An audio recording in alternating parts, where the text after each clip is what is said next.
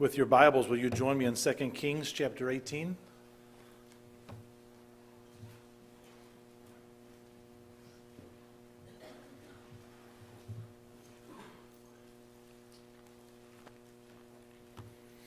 Hmm.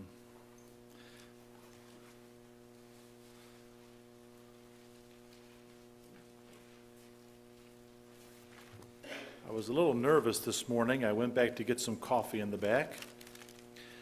I saw that there are, is a stash of tea bags back there, and some of them are herbal tea, and some of them say on the package that they are for bedtime.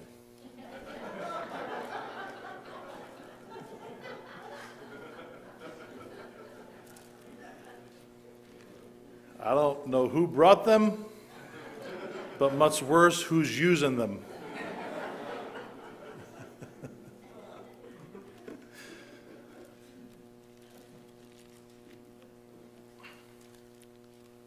God is good. Lord Jesus is a wonderful Savior. There is simplicity in the Christian life in that if you just walk with Christ, everything seems to make sense. What I hear around a lot is people expecting the church to sort of teach them how to live life. You walk with God, and He'll direct your steps. That is a promise from the Scripture. Thy word is a lamp unto my feet and a light unto my path.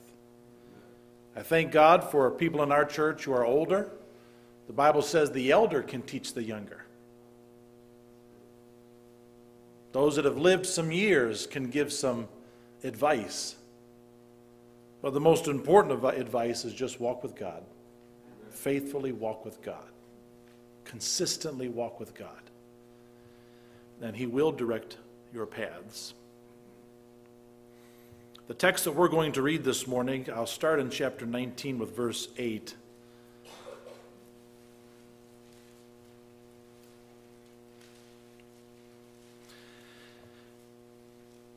By the way, thank you, church family. All the money for that sound system came in $1,900. Wrote the check to the missionary. He was so excited. And I'm excited too.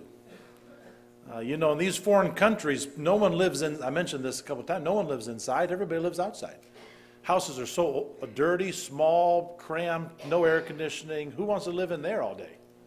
See, we got nice houses with air conditioning, plush couches, nice sofas and uh, you know all the screens and electronics you can whittle your whole day away inside. But not there. You wake up in the morning you get out. You go outside you breathe the fresh air. You get in the sunshine and you work. And i'm telling you i've seen it in these foreign countries. You start preaching something through a loudspeaker and everybody comes. They just come start standing around listening. You do that here they call you wacko we don't even have the ice cream truck coming around anymore. We're playing the music for the kids to run toward them. We just all stay in our little spots. But uh, there, I'm telling you, you preach the gospel through a loudspeaker, you'll have a crowd in no time. And we're praying that souls will be saved. In verse number 8 of chapter 19 of the book of 2 Kings, the Bible says So Rabshakeh returned and found the king of Assyria warring against Libnah, for he had heard that he was departed from Lachish. And when he heard say of Tirhakah, king of Ethiopia, Behold, he has come out to fight against thee, he sent messengers again unto Hezekiah, saying, Thus shall ye speak to Hezekiah, king of Judah, saying, let not thy God in whom thou trustest deceive thee, saying, Jerusalem shall not be delivered into the hand of the king of Assyria. Behold, thou hast heard what the kings of Assyria have done to all the lands by destroying them utterly. And shalt thou be delivered? Have the gods of the nations delivered them which my fathers have destroyed? As Gozan and Haran and Rezeph and the children of Eden, which were in Thelasar. Where is the king of Hamath, and the king of Arpad, and the king of the city Sepharvaim, of Hena and Ivah? And Hezekiah received the letter of the hand of the messengers and read it. And Hezekiah went up into the house of the Lord and spread it before the Lord. And Hezekiah prayed before the Lord and said, O Lord God of Israel, which dwelleth between the cherubims, thou art the God, even thou alone. And all the kingdoms of the earth thou hast made heaven and earth. Israel has been divided. It's a divided nation at this point. When it was divided, it was renamed Israel in the north, Judah in the south. The man we've read about is Hezekiah, who's king of Judah. He is the king of the southern half of the nation of Israel after its division. Assyria is the up and coming world conquering power. If you've studied world history, you know that there have been certain uh, conquering uh, kings and, and monarchs and ruling uh, um, kingdoms. The Romans were a ruling kingdom, they conquered much of the known world. Uh, the Greeks, the Babylonians. And here we have the Assyrians who are marching through the land, conquering nations, kings, provinces, nations, peoples, cities, taking them captive, burning their cities and burning their villages and destroying their goods and taking the men to war and, and, and killing the women and children and conquering and taking money and pillaging and moving across the continent. Israel in the north had already fallen. The Assyrians had already got them. And now the Assyrians set their sights on Judah, the southern part. We'll get you too. Just wait. We'll take you also. Sennacherib is the king of the Assyrians, and he has a henchman that's named Rabshakeh. It's even a sort of an evil name, isn't it? Sennacherib sends Rabshakeh and says, Go tell Hezekiah that he's next. Go tell Judah that they're next on our list and we're coming. And we're going to get them. And we're going to take their land like we took everybody else's land. We'll conquer him like we've conquered every other king. We'll capture his people like we've captured every other group of people. We'll mow them down like we mowed everybody else down. You go tell them. And so they did. And here's Hezekiah, the king of Judah. The threat he receives is very real. real. The threat he received from Rabshakeh, from the voice of Sennacherib, king of Assyria, is a very powerful threat. It's a very troubling threat. But I'm so glad for what Hezekiah did in verse number 14. Hezekiah received the letter of the hand of the messengers and read it. And Hezekiah went up into the house of the Lord and spread it before the Lord. The Bible records the very exact same wording of that verse in Isaiah. We won't turn to it today, but Isaiah 37 14 is recorded word for word what we find in verse number 14 of chapter 19, 2 Kings. That Hezekiah, this king of Judah, when he read the threats of this evil king and his henchmen, that he took it to the Lord. I don't think it's a secret today. The topic of the message is take it to the Lord. You say, well, that's a message I expect to hear in church. It is, but it's not something we practice as well as we should. It's something we know, but maybe not something we do. Maybe our problems aren't as big as Hezekiah. Maybe our situation isn't as dire as the one that Hezekiah faced. But thankfully, Hezekiah took his problem to the Lord. There's a couple of reasons why I believe this was Hezekiah's practice, and it wasn't just by accident. Did you know that Hezekiah had sown a lot of good in his life? We're, we're going to sort of go through 18 and 19 a little bit today. We're going to try to understand the text. Um, and I want you to follow along. But Hezekiah was a good man. Not all the kings of Judah and Israel were good men. But Hezekiah was one of those bright lights. I want you to see this, if you would. Go back to chapter 18 and verse number 2.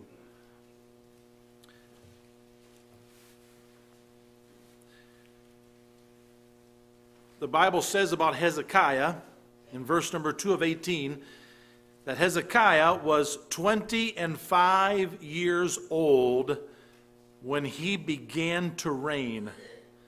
And he reigned 20 and 9 years in Jerusalem. His mother's name also was Abi, the daughter of Zechariah. And he did that which was right in the sight of the Lord, according to all that David his father did. He removed the high places and break the images and cut down the groves and break in pieces the brazen serpent that Moses had made. For unto those uh, for unto those days the children of Israel did burn incense to it. And he called and he called it Nehushtan. He trusted in the Lord God of Israel so that after him was none like him among all the kings of Judah, nor any that were before him, for he clave to the Lord and departed not from following him, but kept his commandments which the Lord commanded Moses. Young Hezekiah be, became king when he was 25 years old. At the age of 25, you don't have a lot of wisdom. At the age of 25, you don't have a lot of experience. At the age of 29, you don't have a lot of road under your feet. But Hezekiah had God, trusted God. He removed the idols. It's amazing to think that Judah had set up false worship places in the, in the area groves were like this vegetation where they would actually make it decorated for false gods, and they would offer vegetables and fruit to false gods, and they would offer incense uh, to these graven images, even the serpent that Moses held up in the wilderness. Hezekiah, this young man, 25 years old, who had a burning desire in his heart to serve God, to please God, when he became king, he said, They're all getting out. I'm cutting down, uh, the envir- environmentalists would have a fit. I'm cutting down all the groves, all the, all the vegetation that's been offered to idols, all of these things been planted to praise false gods, the gods of the sun and the moon and the sky. All of I'm cutting it all down. We're tearing down the idols, we're tearing down the places of worship, and we're going to worship God alone. What a good young man. He trusted God. He clave to the Lord, it says in verse number six, and he kept God's commandments. But here's what I want you to know he didn't have a perfect upbringing. You don't have to research it too hard, but Hezekiah's dad was a wicked man. Hezekiah's dad was named Ahaz. Ahaz became king when he was 20. He only reigned for six years. And Ahaz offered his own sons in fire to the false god Molech. Imagine growing up in that family. Imagine growing up in a family where you saw your dad take your brothers, newborn brothers, and go to a place where a hot fire is burning and chanting and songs and, and, and, and put that little one in that fire let that little one be consumed up, all for a false God. As much as that turns our stomach, I think we need a reminder. We're killing babies in this country.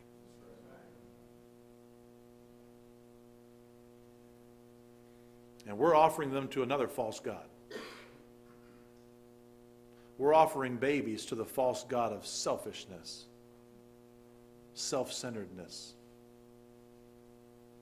convenience.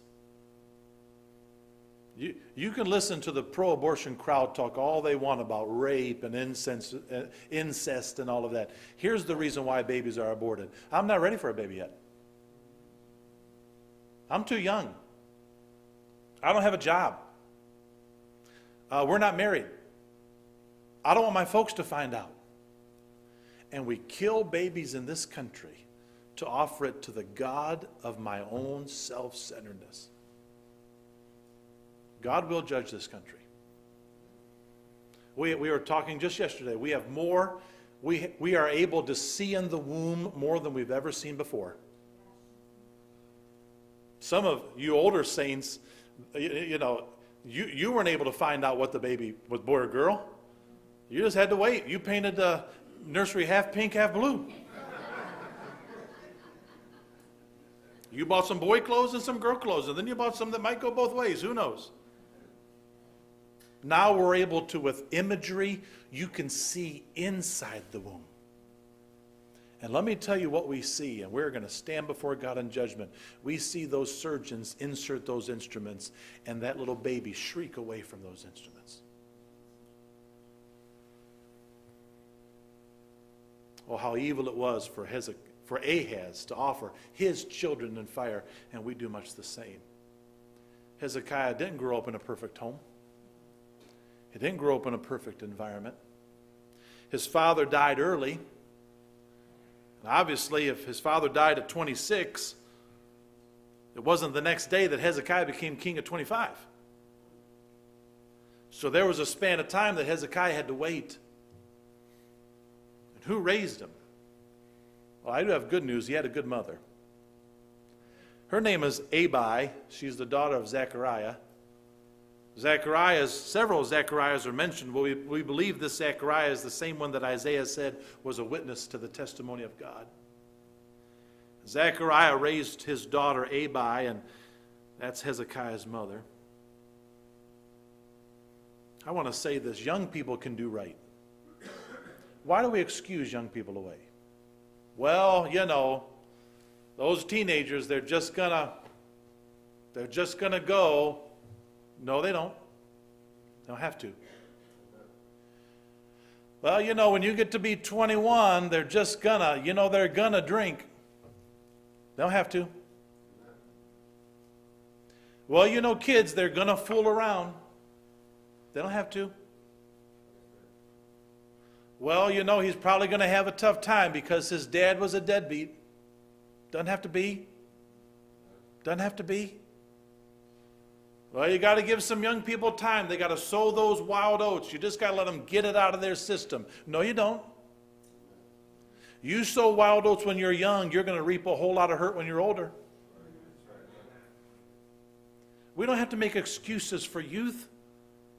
Here was a young man who, with his father out of the picture, raised by a man who's killing his kids in fire to the false god Molech, still has his mother, praise the Lord, but at 25 years old becomes king of Judah in a such time that is so tense and such heaviness of decision. What am I going to do? How am I going to protect these people? How am I going to stand against Sennacherib and the Assyrians? And here is a man who does right and trusts God and lives right and wants to please the Lord. Young people, listen to me. You don't have to go the way the world says young people go. Stay close to the Lord. Stay faithful to God. Trust God. Live for Him. Please Him in your life.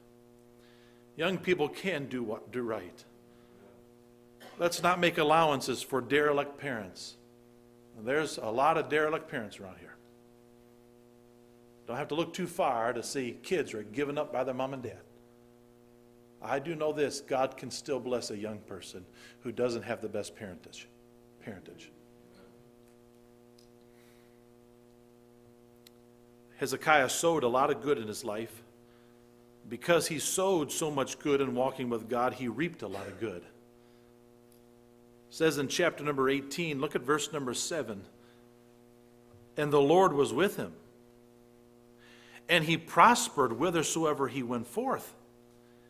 And he rebelled against the king of Assyria and served him not. God had invested a lot in the life of Hezekiah. If you're sort of somewhat of a Bible student, you'll even know that Hezekiah was the king that God lengthened his life. Hezekiah was the king that when he was about to die, he turned toward the wall and said, Please give me a couple more years. And God said, I'll give you more years. I'll answer that prayer. God had invested a lot in Hezekiah. Hezekiah had proven himself to be faithful to God, had walked with the Lord. He had done right and lived right and was right. He was a man of prayer, a man who was in church. He was a man who served uh, and wanted to walk after the pattern of his father David. And God bless him. He had also seen the lies of the wicked. There's something in chapter number 18 that is, I, th- I think, uh, worthy of us to notice. In verse number 14 of chapter number 18, and Hezekiah, king of Judah, sent to the king of Assyria, to Lachish, saying, I have offended. Return from me that which thou puttest on me, will I bear. And the king of Assyria appointed unto Hezekiah, king of Judah, 300 talents of silver and 30 talents of gold. Let me explain what's happening. Sennacherib said, You know, maybe we will leave you alone. Just pay us off. So here's our price. We want 300 talents, which is a weight. We want 300 talents of silver. And we want 30 talents of gold. And Hezekiah, if you can get that money together, and if you can send it on over to me, we'll just call peace. So the Bible says in verse 15 Hezekiah gave him all the silver that was found in the house of the Lord and in the treasures of the king's house. When I first read that, I got a little mad. I thought, why are you taking gold out of God's house? But then I thought, it's more important that God be in the house than gold be in the house. Say, I, I want to build a beautiful church building. I'm not saying it should be shabby, but let's not waste money on things. It should be nice. I don't have a problem with Hezekiah taking the gold off the doors. It said he took them right off the doors. Took the gold off the doors, and at that time, Hezekiah, verse 16, cut off the gold from the doors of the temple of the Lord and from the pillars which Hezekiah, king of Judah, had overlaid, and gave it to the king of Assyria. Okay, a deal's a deal. Here's your silver, here's your gold. A deal is a deal. Well, we just read that right after this, Sennacherib sent Rabshakeh, said, Go tell him we're still coming. Go tell him we're still in. We're, we're coming to get him. I will tell you all, and you know this Satan lies. Satan's a liar. The Bible says he's the father of them, the father of lies, which means every lie has its origination in Satan. That's why you say, should a Christian always tell the truth? Yes, because lies have that, lies have that origin. He's the father of them.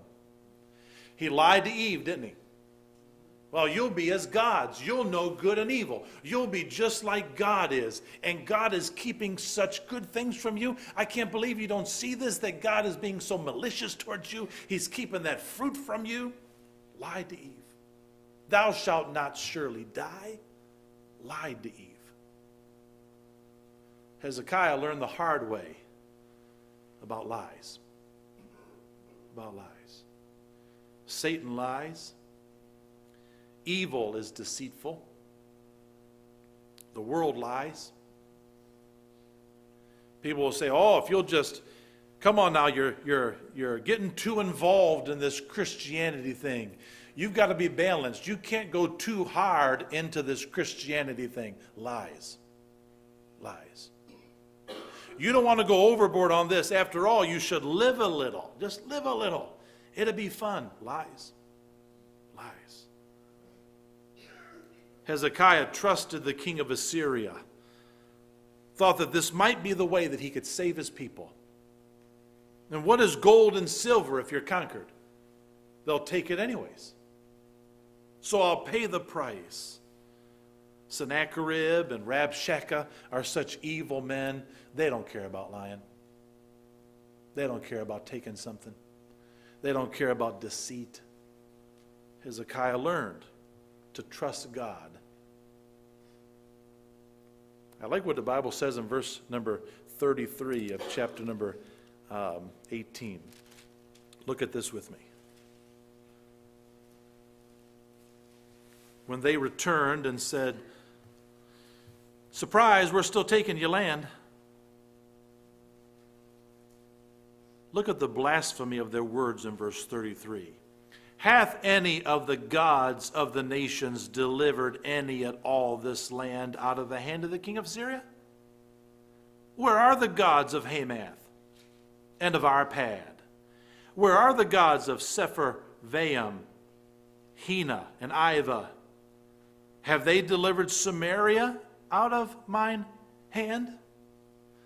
Here's this Sennacherib who is so pious not, not, not pious, so blasphemous to say, yeah, Israel up there in the north, they were worshiping some gods too.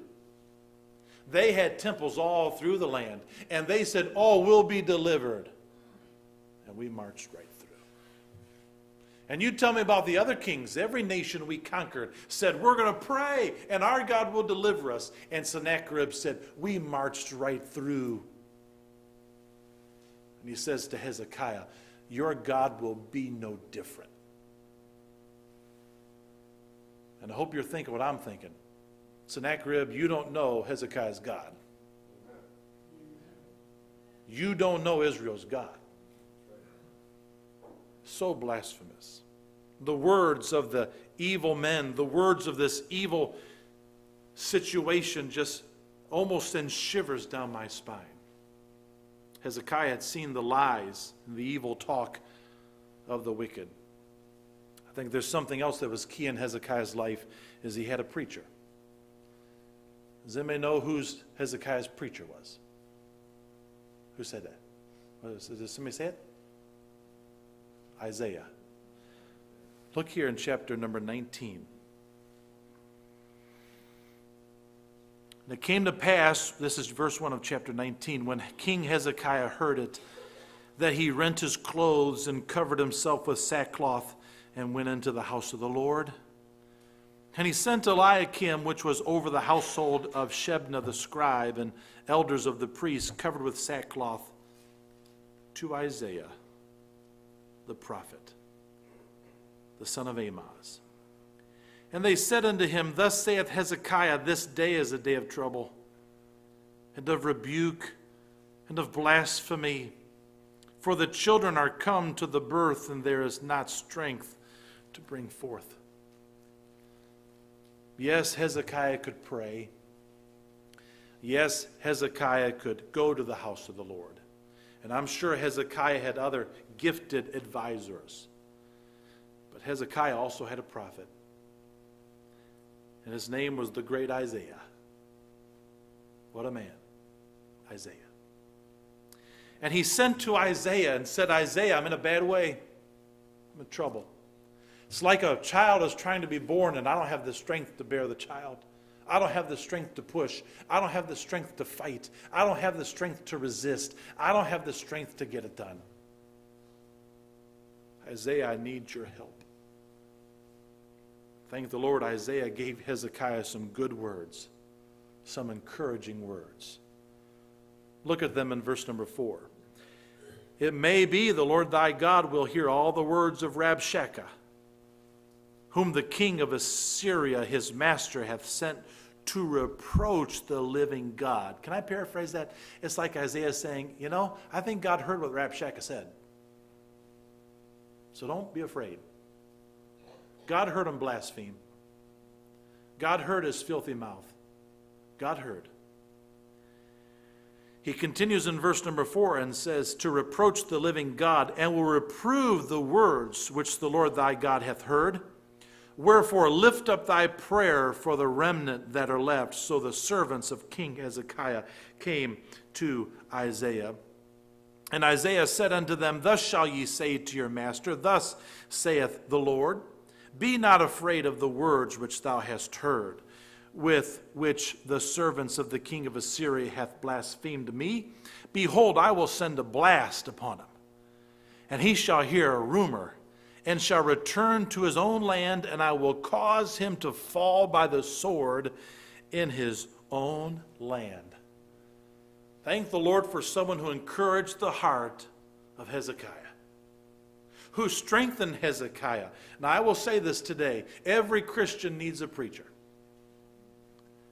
I'm not going to be so brash to say it's me, but every Christian needs a preacher. I look back upon my life and I can't count the amount of things that God did in my life through the man of God. Through the man of God. Through the preacher. The encouragement that I've received. The strengthening that I've received. And I will tell you, no TV preacher is going to encourage you. You say, well, yeah, I heard an encouraging message. Well, try to call him up and explain your problems. See if he'll listen. Try to write him a letter and see if he'll correspond with you back and forth to sort of get some solutions. Why don't you call him up and see if he'll kneel down with you in prayer? I promise you he won't do it. He won't do it. Hezekiah was a blessed man to have the likes of Isaiah, to have a man the caliber of Isaiah, one who could talk with him, encourage him, pray for him the one who pointed him to the Lord God, the one who encouraged him to pray, the one who told him that God will meet your needs, the one who told him it'll be okay, the one who told him that God heard everything that these evil people have said, the one who said, Hang in there, Hezekiah, God's going to fight for you. Hezekiah had a preacher. We also know that Hezekiah went to the house of the Lord. If you'll study his life, he went there all the time went to the house of the Lord all the time. Now, their church wasn't exactly like our church. I hope we all know that. They had a temple and a tabernacle. But in our New Testament day, we call this the house of the Lord. And I've been puzzled over the years. One of the things that have puzzled me is how Satan can convince a Christian who's going through tough times to stay out of the house of God. Can anybody else help me? How can it be that Satan can be so tricky to say to a person who's going through a deep, hard trial in their life, to say to them in their ear, You don't want to go to the house of God. You don't want to go sit in the Lord's house. You don't want to go sit among Christians who are excited about Jesus. You don't want to go have a Bible open. You don't want to go to a place where they're praying. You don't want to go to a place where the Spirit of the Lord is. Please hear me, church. In the worst times of your life, you better be in the house of God. Our flesh may want to stay home. Our spirit may want to stay home. Depression may want to tell us to, to stay away from people. But may God help us to push ourselves to the house of God. Hezekiah went to the house of the Lord. Where else can you go when you're faced with such a trouble? And he prayed, and God answered. And Isaiah said that God would answer, and God did. I want you to see the answer here, and then I'll quickly gather some application and we'll close. Chapter number 19 and verse number 20.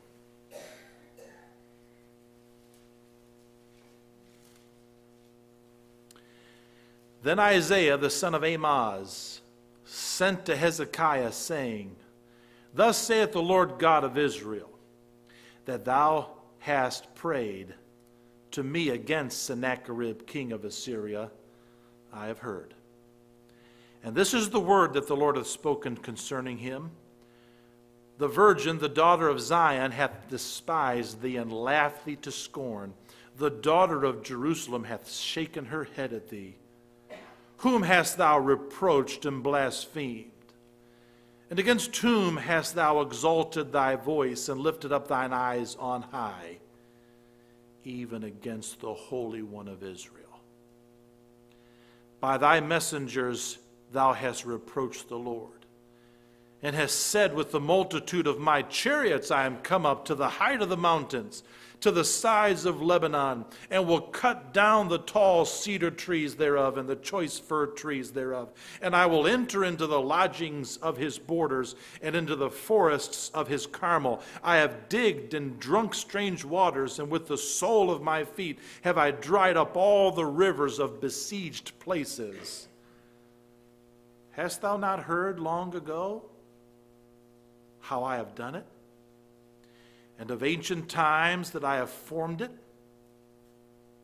Now have I brought it to pass that thou shouldest be to lie waste fenced cities into ruinous heaps.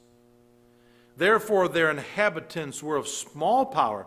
They were dismayed and confounded. They were as the grass of the field and as the green herb, as the grass of the housetops, and as corn blasted it before being grown up. But I know thy abode, and thy going out, and thy coming in, and thy rage against me.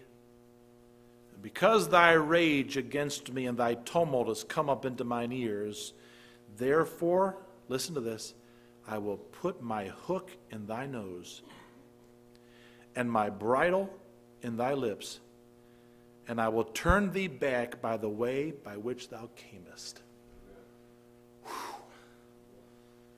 Isaiah said to Hezekiah, Don't worry. God gave me a word for Sennacherib. God gave me a message to give him back. God gave me some things to say to Sennacherib, and he's not going to like it, but I'm going to like giving it. Verse 35 through 37, and I'll close. And it came to pass that night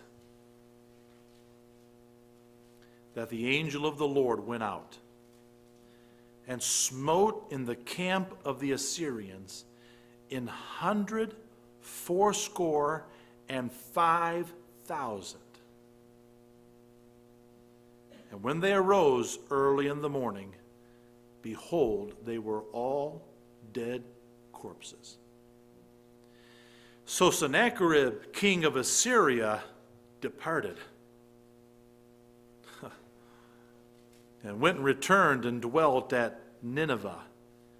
And it came to pass, as he was worshiping in the house of Nisrach, his god, that Adramelech and Sharezer, his sons smote him with the sword. And they escaped into the land of Armenia, and Esar Haddon, his sons, reigned in his stead. I want to bring you back to the beginning. Hezekiah had letters from Sennacherib letters that said, here's the nations we destroyed, and here's how we did it. Here's our plans to destroy you. Here's how we're going to do it. Here's our commitment to take your land, and we're going to get it. Here's what we think of your God and how phony and fake he is. Here's what we think about your kingship and how we're going to hang you from the gallows. Here's what we're going to do to your people. And Hezekiah received these letters from Hezekiah, and his heart melted. Now, we read the text a moment ago. The Bible says that Hezekiah took the letters.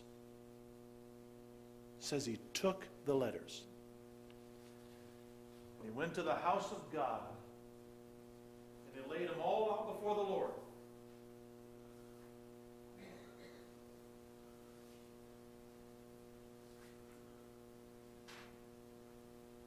God can read, you know.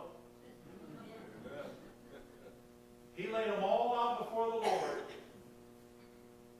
got down on his knees, and folded his hands, and said, Lord, you know what I'm up against. You know what I got to face. And you know that I can't do it alone. And you know that I don't know what to do. And you know that I feel like a child needs delivered. I don't have the strength to deliver the child. And you know I've got to protect my people, and I don't know how to protect my people. And you know we got a little army, and they've got a big army. And you know all the people they've conquered, and now they got their, their sights on us.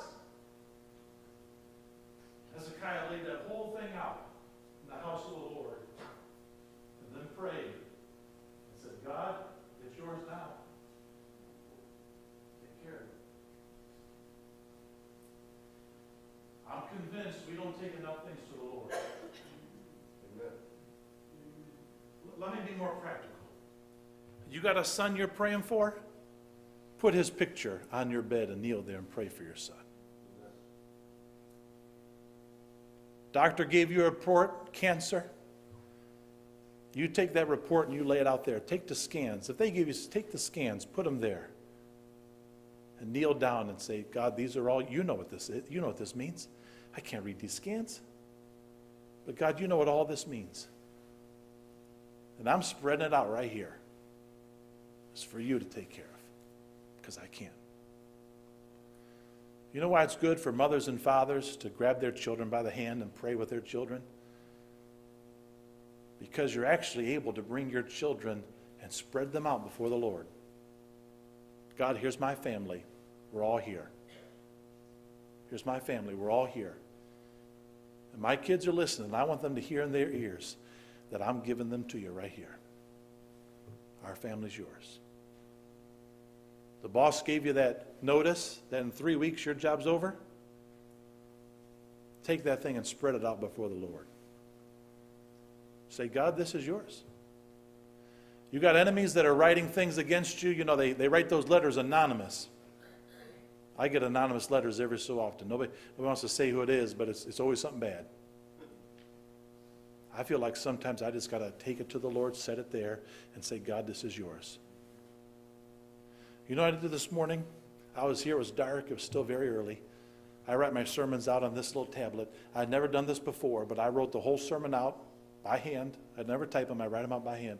And I came in here, it was dark. I came up to this altar and I laid this thing on the altar and I put my head over top of it.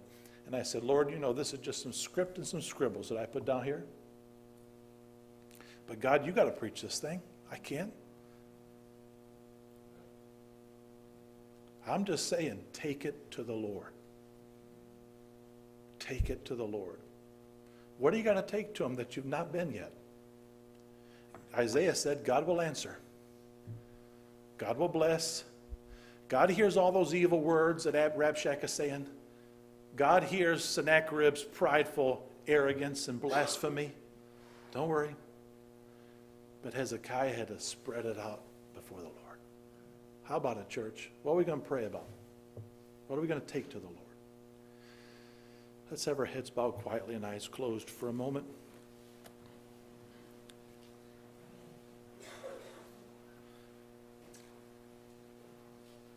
Are we weak and heavy laden?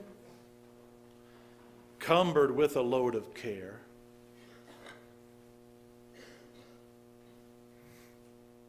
Some of you may not recognize that song. Precious Savior, still our refuge. Take it to the Lord in prayer. Have we trials and temptation? Is there trouble anywhere? We should never be discouraged. Take it to the Lord in prayer. What a friend we have in Jesus. All our sins and griefs to bear. And what a privilege to carry everything to God in prayer.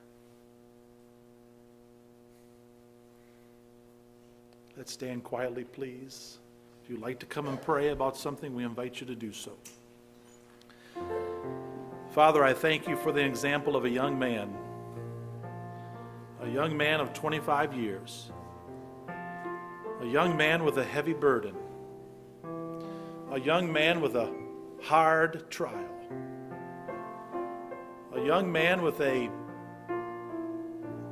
bewildered mind and a troubled heart and a confused, confused decision and pathway. He didn't know what to do. He didn't know how to win. He didn't know how to be victorious. He didn't know how to protect his people. All he knew was, like the man of God said, just take it to the Lord. And so he did. Father, thank you for the reminder to bring things to you. Forgive us for being so self reliant that we feel like we can handle it. We got this. And the lies of the evil one deceive us over and over. We tremble at the mighty hand of wickedness. It's because we failed in prayer. I know prayer is not easy. But God, maybe sometimes we should just take whatever it is and just put it right down in front of us pray over it. Bless the invitation, I pray, Lord, whatever the needs are, we ask that you'll minister to the heart. Would you sing this hymn with me? What a friend we have in Jesus. Join me now. What a friend we have in Jesus. All our sins and griefs to bear.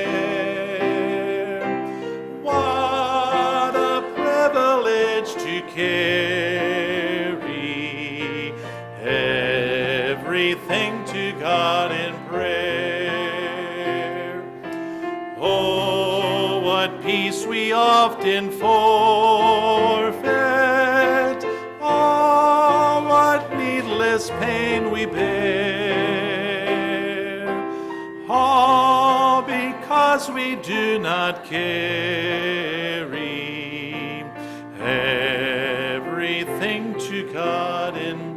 We'll sing again in a moment. You got a bill that needs paid. Why don't you just put it down in front of you and take it to the Lord? We say, No, I got to work this out somehow. Why are we trying to live life without God in it?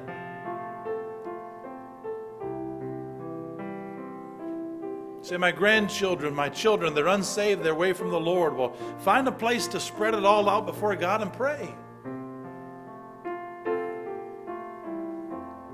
Hezekiah did. He didn't know what to do with the letters from this evil king except to spread them out before God.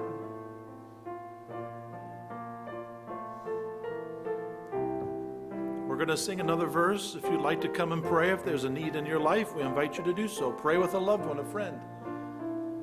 The next verse says, Have we trials and temptations? And we do. We take them to the Lord. Let's sing verse number two. Have we trials and temptations? Is there trouble anywhere? We should never be discouraged. Take it to the Lord in prayer. Can we find a friend so faithful who will all our sorrows share? Jesus knows our every weakness. Take it to the Lord in there's one more verse left. I feel we should sing it 345, and then we'll have our offering announcements and such. But if you need a book, Are We Weak and Heavy Laden is verse number three. Let's sing it now. Are we weak and heavy laden? Come, but with a load of care. Precious Savior, still our refuge. Do thy friends despise? Do thy friends despise, forsake thee? Take it to the Lord in prayer. In his arms he'll take. In his arms he'll take and shield thee.